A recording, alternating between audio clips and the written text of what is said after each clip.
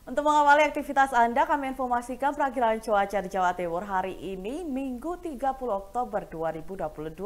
Menurut data dari Badan Meteorologi, Klimatologi, dan Geofisika atau BMKG, sepanjang hari seluruh daerah di Jawa Timur diprediksi tidak akan turun hujan.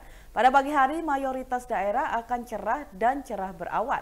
Begitu juga pada siang hari, cuaca masih akan cerah hingga cerah berawan. Cuaca yang sama juga akan dialami seluruh daerah di Jawa Timur pada malam dan dini hari, yaitu cerah dan cerah berawan. Untuk kota Surabaya, BMKG memprediksi akan cerah berawan mulai pagi, siang, malam hingga dini hari.